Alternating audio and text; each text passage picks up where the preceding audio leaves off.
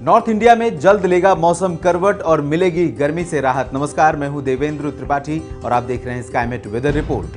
दिल्ली से लेकर राजस्थान तक इस समय दिन में तेज गर्मी से राहत की आहट मिलने लगी है, लेकिन अभी इसके लिए इंतज़ार करना होगा। इंतज़ार राजस्थान और गुजरात में बेसब्री से हो रहा है, क्योंकि जैसलमेर, बाड़मेर, भावनगर, भुज और आसपास के शहरों में 38 से 40 डिग्री सेल्सियस तापमान के कारण गर्मी ने जीवन के लिए मुश्किलें खड़ी कर रखी हैं।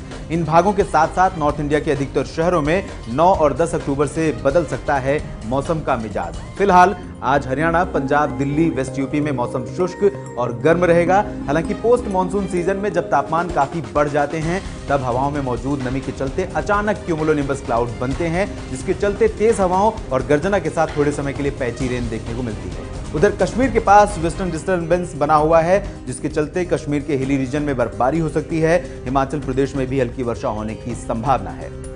ईस्ट उत्तर प्रदेश, बिहार और झारखंड में मौसम की बेरुखी आज भी जारी रहेगी। इलाहाबाद, पटना और आसपास के अधिकांश शहरों में सामान्य से तीन से पाँच डिग्री ऊपर चल रहे अधिकतम तापमान के कारण तेज गर्मी का प्रकोप बना रहेगा।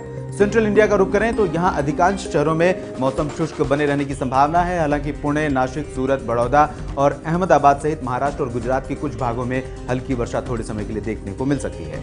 साउथ इंडिया के राज्यों में मौसम की हलचल सबसे अधिक रहेगी। अरब सागर पर बने वेदर सिस्टम के कारण केरल के अधिकांश शहरों में मध्यम से भारी बारिश जारी रहने की संभावना है।